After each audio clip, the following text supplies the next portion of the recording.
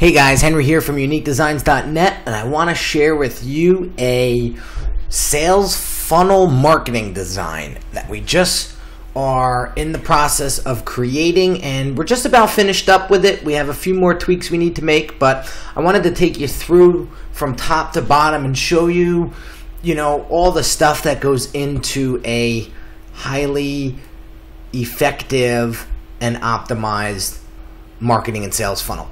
So this is for a client that's in the fitness space and it's actually going to be a templated site so that we can actually duplicate it and use it for uh, many other box gyms in the area. Obviously rebranding the look and feel, but uh, overall keeping the same framework of the design. So um, this box here is obviously going to be where the logo goes.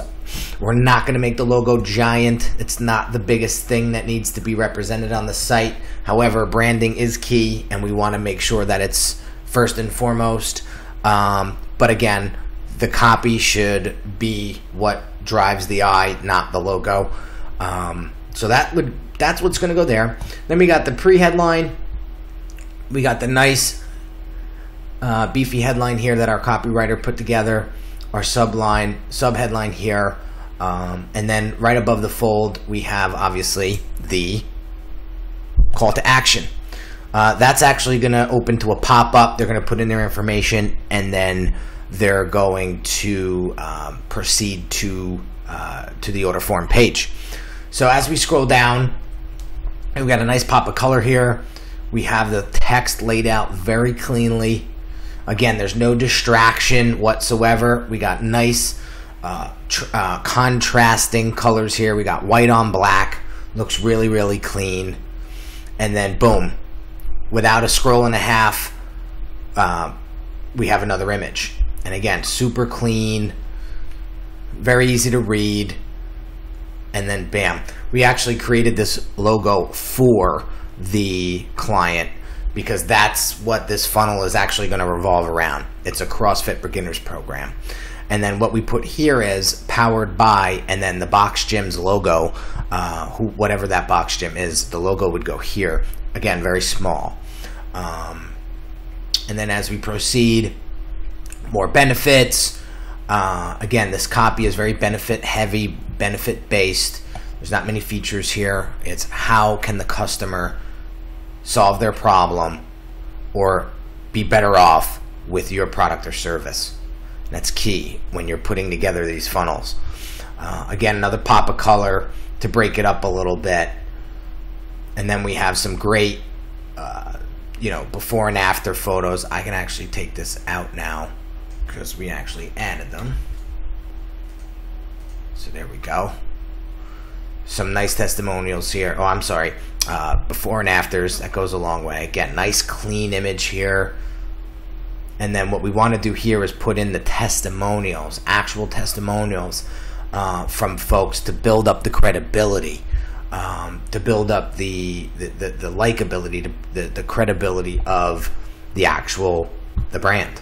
So testimonials go a long way um, in any sort of marketing piece. We have our rock solid money back guarantee. And then, you know what I want to do? I want to make a space there. And then we don't mention anything about the price until we get down here. And basically we just highlight it here very subtly.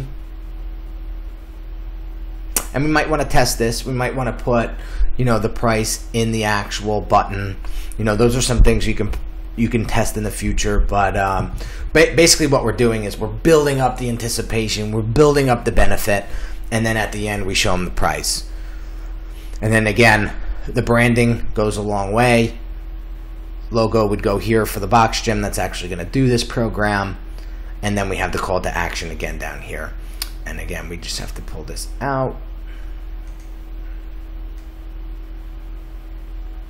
Actually, I might I might do something else.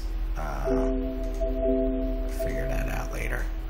Um, obviously, we have to put the terms and conditions in. That's no problem. But other than that, this is a very, very clean, clean looking funnel design that is going to do really well in the market because it shows quality and it's not spammy looking.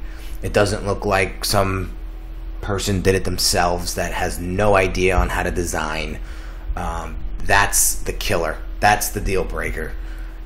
That's what's going to kill your credibility and the overall result of the funnel's success. So we really want to make sure that the funnel design looks super, super clean.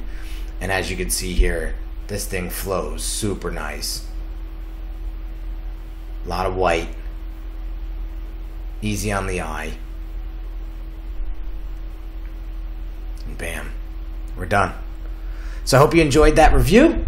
I'm sure I'll be doing many more of these in the future, but uh, I hope it served you well. I hope you got some ideas. I hope you pulled out the, the, the big points that will help you build a better quality and get you better results with the funnel that you have for your business.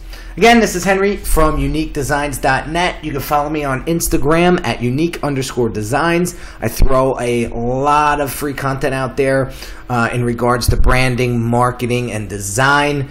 Um, if you have any questions, I'm always in these groups, and uh, I would be honored to help you guys uh, with your branding and your design stuff in the future. So, talk to you soon. Stay motivated and have a great day.